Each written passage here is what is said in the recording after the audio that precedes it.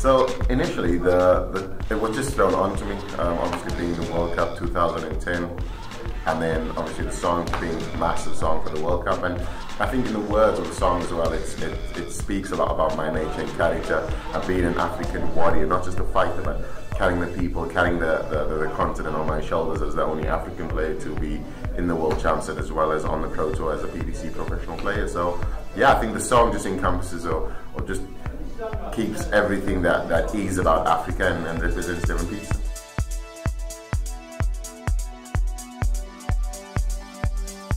I think it was an opening match, it was a, a prelim match against Norman Madhoo. Um, it was the first time I came over.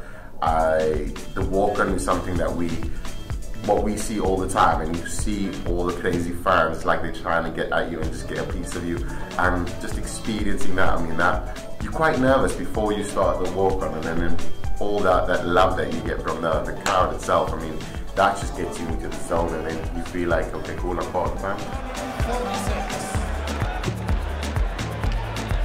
Now he's taken out 136. Oh, surely not another one. Oh,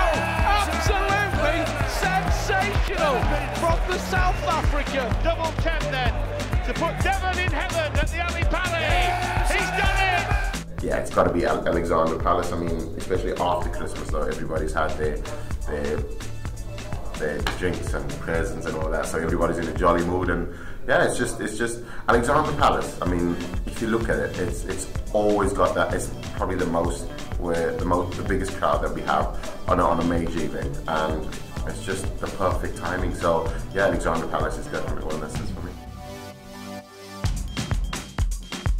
a dance routine. I'm born like this. I don't. It's not a, a, practice thing. I mean, I used to do that back in the day and just mess it up, and then yeah. So it's it's when I get there, I, I sometimes add a bit more to it, and depending on the energy that you get from the crowd and how you're feeling at the time, and especially if I've won, I do it. There's a there's a dance that I do at the end, which I don't really want to do, but your body just says just dance.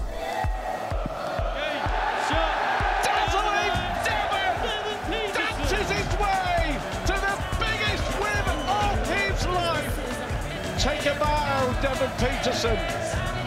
Have a dance, celebrate. You deserve it. Here we go.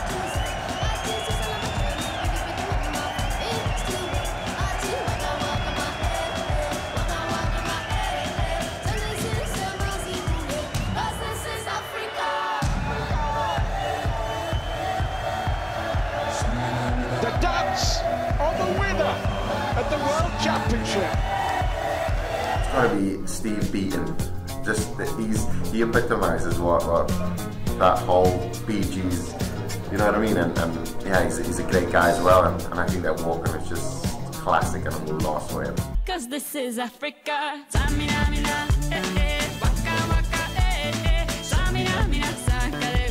This time for Africa.